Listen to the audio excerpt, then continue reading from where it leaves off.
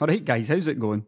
Before I start this video, I just want to say that I have been busy this week with stuff that is related to the channel. I've got my very first ever interview done. The whole thing was a bit of a farce in all honesty, and it's actually amazing how much effort you have to put in simply to get the parts to do an interview well. Or maybe that's just in my case. I bought a new camcorder, I bought an audio recorder, I bought a couple of microphones, I also bought a tripod. I had everything basically all ready for the perfect interview. And uh, yeah, one or two little issues with the hardware turned it into a bit of a farce. Luckily, however, the interview ended up fine. At least I hope so. With a bit of luck, you'll see that at the end of the month. But for now, let's get on with this video.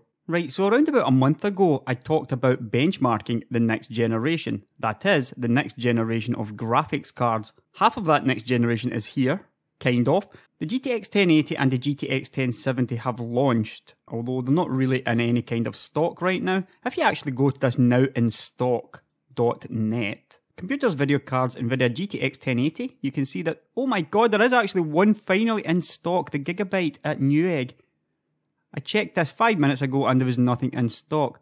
Let's actually take a look and see. It's sold out.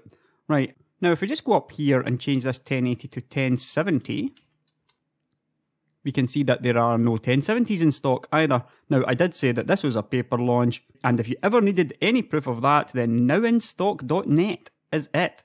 I am not affiliated with this website in any way. I'm just using it to check for the stock of these cards. Now, the reason I'm talking about the GTX 1070 is that in this benchmarking the next generation video, I said I was going to buy the GTX 1070 and Polaris 10, as I believed that those would be pretty decent competition. I'm not entirely sure how that looks right now. It does look like the GTX 1070 is going to be that bit faster. However, I still intend to get the 1070 and maybe some other cards as well. For the other graphics card team, that is AMD, the rumours point to the NDA lifting on Polaris at the end of June. And historically, when the non-disclosure agreement runs out, you can expect to see reviews of the cards pretty soon around that time. So all of this needs to be ready for at least the end of the month. The timing should be pretty decent because the GTX 1070 should hopefully be in stock by then.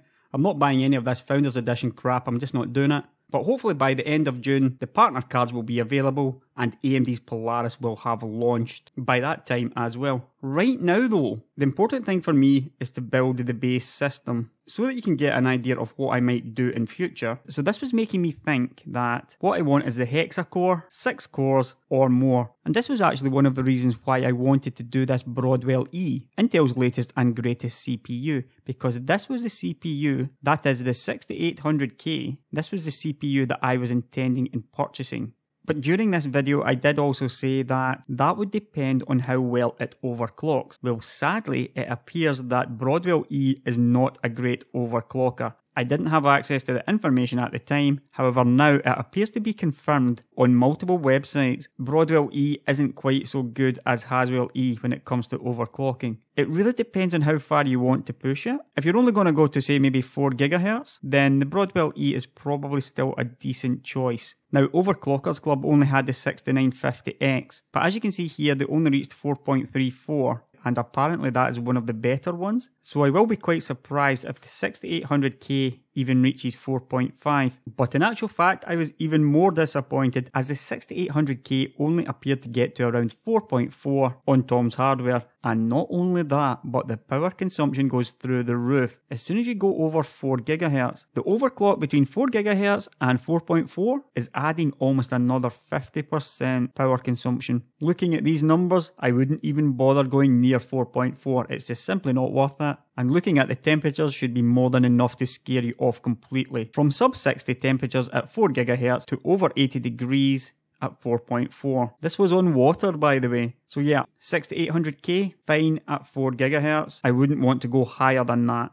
And with it being a new CPU, it has a brand new price as well, almost £400 compared to the £314 of the 5820K. At those prices, the 5820K is a no-brainer. If you're choosing between those two, wait until this comes down in price. It's not even remotely worth the extra cost, so don't even think about paying it. Now, I could rant about this all day, and the same about this Founders Edition crap, I was really looking forward to building these new systems. The new CPU with the new graphics cards, a new high-end system, maybe even a new $1,000 system. But these prices, this Founders Edition nonsense, has just completely put me off. Simply put, the way I see it is this. If I wouldn't buy it myself, I'm not going to go recommending other people buy it either. So when I do get around to updating my high-end system, chances are I'm going to be sticking with the 5820K just based on these prices and based on the fact that the 5820K is a better overclocker. For now though, what this means is I'm going to be going with the 6700K for myself. It made me think a bit more about it. The sort of graphics cards I'm going to be testing are now mid-range and below. Basically based on things like power consumption. Even your GTX 1080, not really a high-end card. We know it's a mid-range card at high-end prices. The 1070's got low power consumption,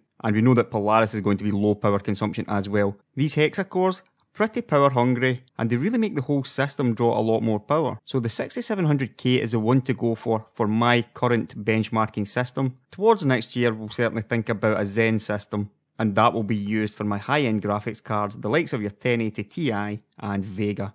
So I'm going with the 6700K. I said I would never buy another quad core, but here I am buying another quad core. So now it's time to do a full rundown of all the parts of my new benchmarking system in turn. Right, so I'm going to start off with the case. One of my favourite cases is the Fractal Design Define R5. It comes in three different colours. You've got the black here, you've got the white, which is my personal favourite, and you have it in titanium as well, which is pretty nice too. And you can also get it with or without a side window. I really like the side window. However, the thing about this case is it's one of the quietest cases on the market.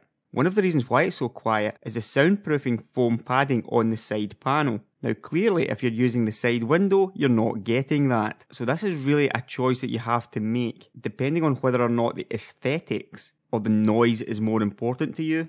I really do like it with the side window, but in my case, I am going to go for proper soundproofed version of the case. The reason I'm choosing this case is because if you remember, when I did the overview of the GTX 1080 reviews, one or two websites found that the card throttled quite heavily inside a case like this. And I believe that this is the sort of case that most people would be looking at getting. It's certainly a very popular case and one that should give you a much truer reflection of the expected gaming performance of your graphics card. So this is why I'm going for this. The last thing about the Fractal Design R5 though is that prices can really jump up and down quite a lot on it. Right now it's well above $100 in the US, but I've seen it way cheaper than that as well. Right now you can pick up a black one for 104, but if you don't want to pay over $100 for a case, you might want to check out something like the Thermaltake suppressor instead. The F31 which is very similar. I believe they had a bit of an issue, in fact, because the case is so similar to the Define R5. But as you can see, it's fully soundproofed as well. And you can also get it without the window. Gaming edition at 75 and the silent edition at 86. So that's up to you if you want to check out something like this instead. Or if you want to wait a little while and see if the prices fall on the Define R5. This however will be my case of choice for the benchmarking system. Now moving on to the power supplies. One of the things I've noticed about power supplies on Amazon especially is instead of having an idea that you need maybe a 750 watt power supply and only searching for those, quite often that's not the best thing to do. If for example we do a search for the Corsair RMX series of power supplies, we can see here that the RM750X is $115 currently but the RM850X is down at $110. Now clearly you would take the 850 over the 750. You've got the 550X at $100, so that's clearly really bad value. If the 550 costs 100, then obviously the 850 is well worth 110. And again the 650X is at 120. That's no good. So this seems like a no-brainer here. The Corsair RM850X 850 watt fully modular power supply, 80 plus gold certified with a 10 year warranty at $110. Now the whole point in going for this 850 watt is that at some point I will be expected to do SLI and crossfire benchmarks. 850 watts is just about that little side of overkill, but it also gives you that little bit of leeway if you do end up going with a couple of high-end graphics cards, maybe even three mid-range graphics cards. So yes, I do actually think that the 850 watt Corsair RMX is a very good choice here, especially given the current price.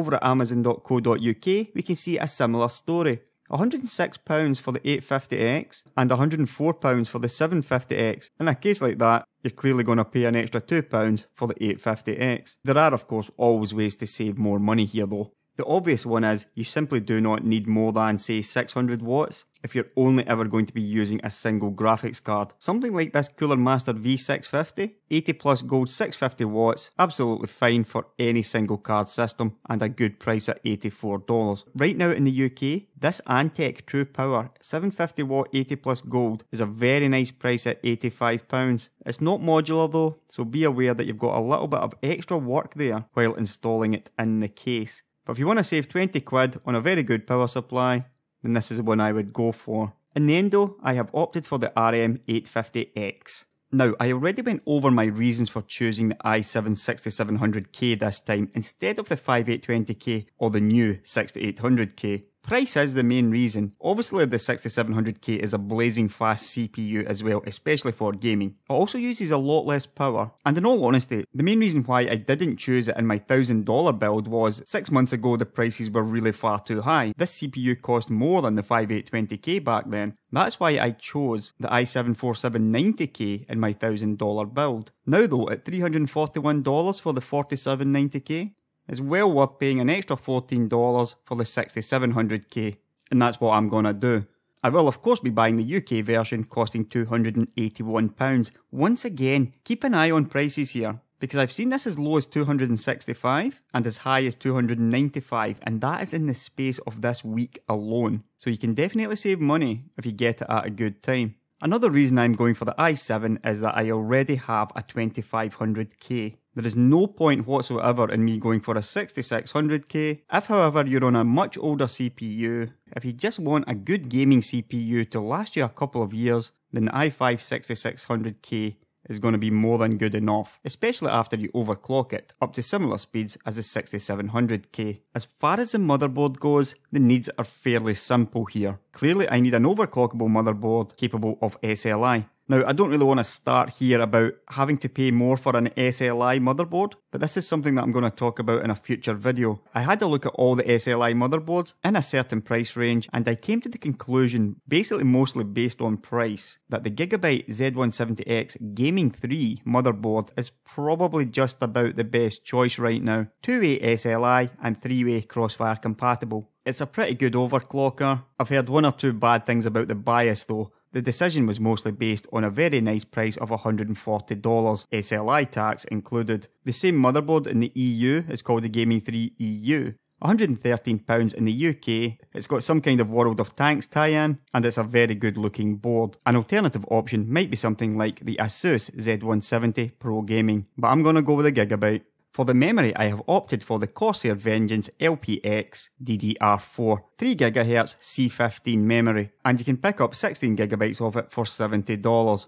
To be frank, I am not a huge fan of Corsair memory, but right now it's pretty cheap and fast, so it's just about worth the risk and that's £64 in rip-off Britain. And it is, of course, fully compatible with a Gigabyte motherboard. Now for my benchmarking system, I've decided on the Samsung 850 EVO 500GB SSD. Around about 6 months ago, I said that the 250GB was the sweet spot in terms of price, $88 for 250 gigabytes, but now the 500 gigabyte version is down in price quite a bit, $154. So this is now I would say the sweet spot in terms of cost per gigabyte, and one of these should certainly do most people. Unless you've got a bunch of videos saved. 500 gigabyte SSD, probably more than enough for most people. And with prices coming down constantly, you can always buy another one later. So this is what I'm going for now. In the UK, the price is £107, and with the 250GB being £70, the 500GB version is obviously much better value for money now.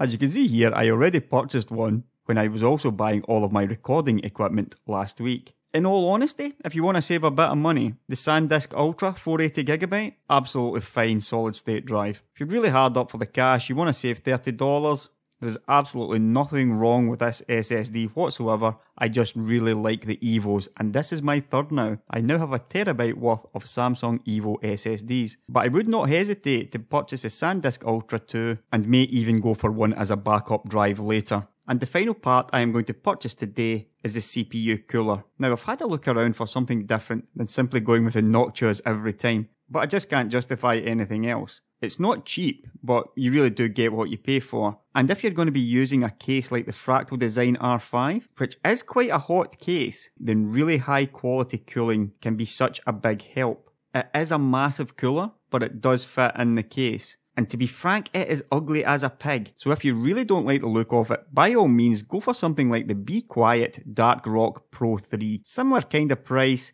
similar kind of performance, and it's a lot better looking. Another option might be the Phanteks TC14PE, but for me, I'm going to continue recommending the Noctua, £70 in the UK. If paying all that money on a CPU cooler makes you shudder, then check out something like the Cryorig H7. It's a very good CPU cooler for the money and supersedes something like the Hyper 212 Evo from Cooler Master. You can pick it up for well under half the price of the Noctua.